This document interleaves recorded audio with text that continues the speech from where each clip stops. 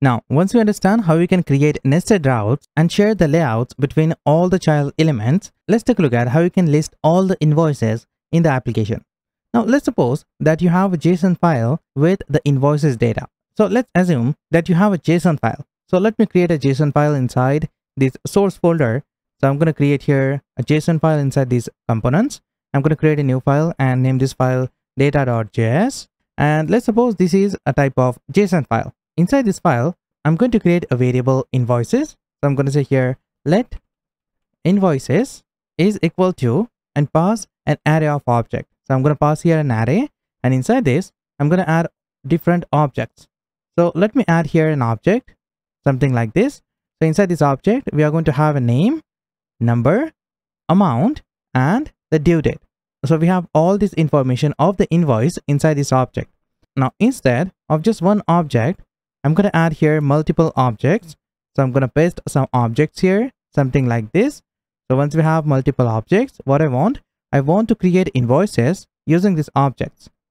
Let me first save the changes and then right down here, just of this array, here I'm going to say export function get invoices.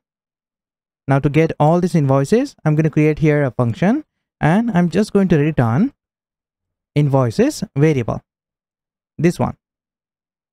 I'm going to return this variable from this get invoices function.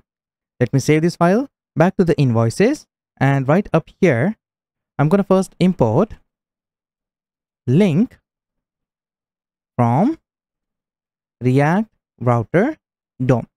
And then I'm going to import get invoices. So I'm going to copy this get invoices function right from this data.js and import that inside this object. And we are going to get that from dot forward slash data.js. Now, just out that inside this component, I want to list all these invoices. To do that, I'm using map function. So inside this division tag, let me just get it off this div. And right here, I'm going to call main element. To this main, specify class names text center is the tailwind class to center all the text. Then I'm going to add here a division tag and we're also going to add here class names. To this class, I'm going to specify flex, flex column, and then specify here gap. Gap is going to be 3. So this will specify display flex to this division tag and then specify flex direction column and add gap between all the columns. And inside this div, I'm going to iterate over this array of object. So first, we need to get invoices from this get invoices function. So inside this component, I'm going to say let invoices is equal to get invoices. So this function is going to return this array of object. You can notice here. And then I'm going to get that inside this variable. I'm going to grab this variable, specify that here inside this object. And I'm going to iterate over this object using JavaScript map function. And then inside this, I'm going to say invoice. I'm going to call here an arrow function, something like this, and return a link component. Now, as you know, we already imported this link component from the React Router DOM. To this link component, I'm going to specify some class names. So right down here, I'm going to specify class names. Class names is going to be bg gray 200. Then I'm going to specify two property which is going to allow us to specify URLs. So to this to property, I'm going to specify the invoice number, invoice number. Just for now, I'm going to leave this property as it is and then specify here key. You always need to specify here key because we are iterating over this component. So you need to uniquely identify this element and specify unique key to it. So I'm going to specify here invoice dot number. Just of that to this to property, as you know, we can specify the URLs. And what we are going to do is, right here inside this to, I'm going to specify template string and specify here forward slash invoices, this path, this one. And inside this, I'm going to have the invoice number. So I'm going to specify forward slash here, pass here dollar, curly braces, and then specify here invoice dot number. Now let me save the changes. Now just of that, once you specify to property, Inside this link, right here, don't forget to specify text to this link. So I'm going to specify here invoice dot name. As you know, we already have name property inside this object. So I'm going to specify that name here. Let me save this file and back to the browser and click on the invoices. When I click on it, you can see I'm going to have multiple links here. If I inspect this, if I open my application, the root division tag, and inside this, here we have the main component. Inside this main component, we have the division tag and different anchor tags. You can see to this anchor tags, we have the href attribute. And to this href attributes, we're going to have invoices and the invoice number. Whenever I click on this first link, this link is going to navigate us to this invoice number. And it will do the same for all these anchor tags. So using this technique, you can list all your invoices in your application.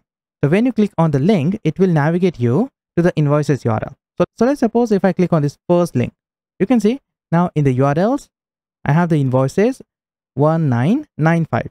And if you're back to your data, we have the first invoice, which is 1995. So this is the invoice number. And we have this invoice number inside the URL. And now if you want, you can use this invoice number to display the invoice information. We'll look at that later. Just for now, just look at this URL. First, we have the invoices and inside that, we have the invoice number. This is because here inside these invoices, we first specify the invoices and then specify the invoice number. If you want to display your invoices right inside the root URL, you can get it off these invoices right from here. Now you can notice when you click on these links, the page goes blank. That is because none of the route we have defined match the URL. So if you back to the index.js, then you can notice we only have three routes inside this index file and none of the routes is matching to this URL. So what we need to do is we need to create matching routes or we can create no matching route. In this case, you will notice we don't know any invoice number. In that case, we need to add no matching routes inside this application. To create no matching routes, what you have to do is you have to add another route inside this index file and you have to specify here route, close this and inside this route you have to specify path and inside this path you specify asterisk. This asterisk has a special meaning here. It will match only when no other routes do. So it means if we don't have the matching routes to this URL, I want to execute this no matching route. So inside this no matching route, I can easily specify element. Now that's upon you. You can create and specify inline element as well. So you can create here main like this and then specify here a paragraph. Then specify here there is nothing here. and you can specify here some tailwind classes as well. So i'm going to specify here text 3 excel. And to this main i can specify text center to center the content. Let me save this. You can see. I'm going to have here there is nothing here. This is because we don't have any sync component with this url so this is what we call the no match route now next let's understand how we can read this parameter and access the value of this invoice and display them inside a component.